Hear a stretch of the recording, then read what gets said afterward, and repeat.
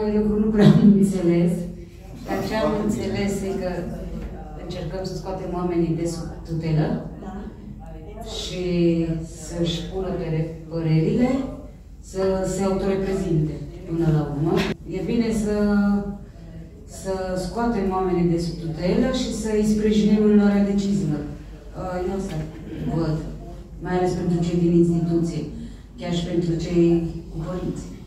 Pe mine m-a uimit inițial când el a spus că n-a înțeles mare lucru, dar după aceea când a rezumat ce a înțeles, mi-am dat seama că a înțeles de fapt totul și că am folosit foarte multe cuvinte pentru a exprima ceea ce în două propoziții a spus foarte fain, autoreprezentare, alegeri, demnitate, libertate.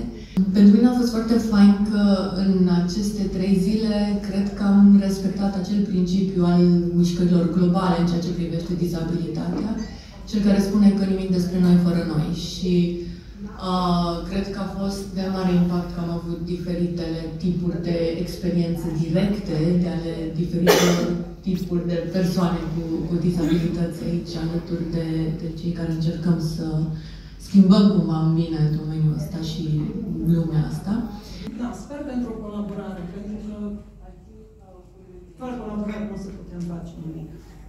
Ca reprezentant al instituțiilor publice, Parțial sunt de acord cu dumneavoastră că nu se prea implică în colaborarea probabil cu organizațiile neguvernamentale. Nu s-a prea discutat despre cei care vor și sunt multe dosare la instanță pentru instituirea acum a unei măsuri de protecție. Și vor fi și alte persoane care se vor lovi de practica refuzului anumitor instituții bancare, financiare, etc și vor merge undeva în direcția aceasta.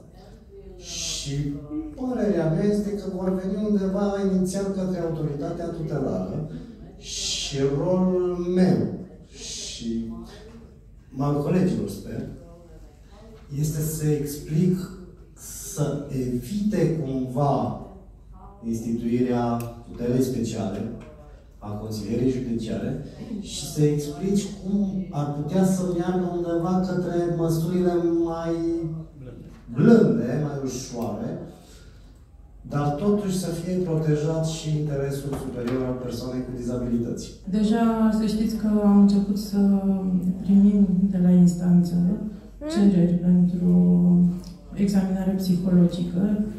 Deja am avut două cereri Acum pot să spun că mi s-au clarificat multe lucruri privind acest proces de luare a unei decizii. Și mulțumesc foarte mult tuturor